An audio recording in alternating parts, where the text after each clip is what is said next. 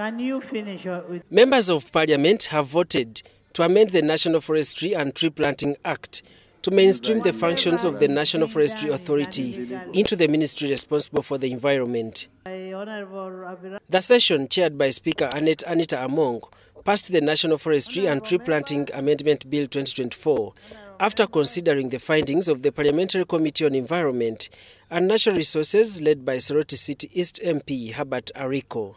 The committee has noted that mainstreaming NFA into the ministry will reduce on government expenditure by Ugandan shillings 22.1 billion in the financial year 2024-25 and Ugandan shillings 26.4 billion in the financial year 2025-26. The committee informed the House of overlapping mandates in the Ministry of Water and Environment, charged with managing and overseeing forest sector in Uganda.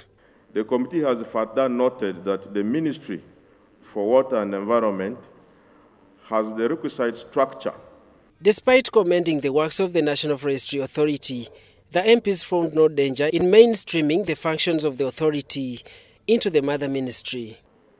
Leave alone to say that it also will help government address the issue of disparity in the salary structures which had demoralized other staff from the ministry.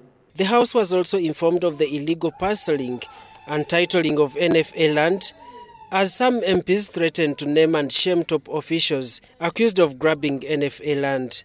It is very difficult to withdraw such a statement because when they bring a list of members who have changed forest land to freehold land, names are going to be put no. The allegations furthered the debate.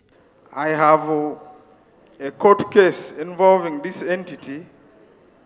We are about to go and uh, rationalize. And the import of that is that there will be a breach of our sub judice rule. Nevertheless, the committee asserted that about 120 illegal land titles created in forest reserves were cancelled in 2019, and the process to cancel over 609 illegal titles in central forest reserves is ongoing. Even if you took an helicopter drive or an airplane drive or a drone and you put it over Buganda today, and you are able to see the, the deforestation that has been done on the watch of NFA. The MPs recommend that government absorbs some of the competent staffs who will be affected by the mainstream process into the Ministry of Water and Environment. Daniel Mugoya, Gloria Gutabinji, UBC News. We agree with whatever you have given, but now what you are stating is